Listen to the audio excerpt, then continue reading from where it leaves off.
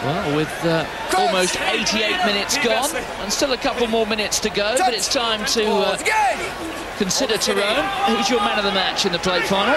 Well, it's, it's very much been uh, a game of two halves, but in that first half, certainly the outstanding player, who, as we see Earls go. Well, hold on to the name for a moment. Keith Earls there, a terrific break. A hint of a forward uh, pass about an offload, but the referee's let it go. There's Marshall. Keatley goes himself. Another Irish try, is it? Well, the referee, I think, is going to refer this. Well, once again, we said about Keatley making an impact every time he's come onto the pitch. But again, very sprightly, taking the gap. And that's a certain try. There's nothing wrong with that. He scored a try off the bench against the United States, and he's added another one here.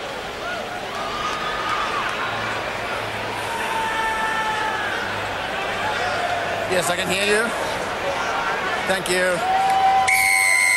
Well, the formalities have been gone through. And the try has been awarded. Ed Morrison, uh, the uh, TMO for this game.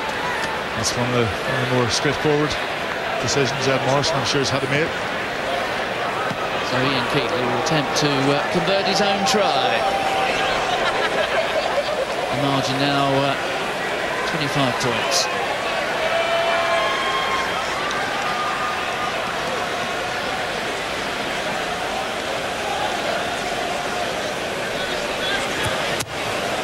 Great effort, good move.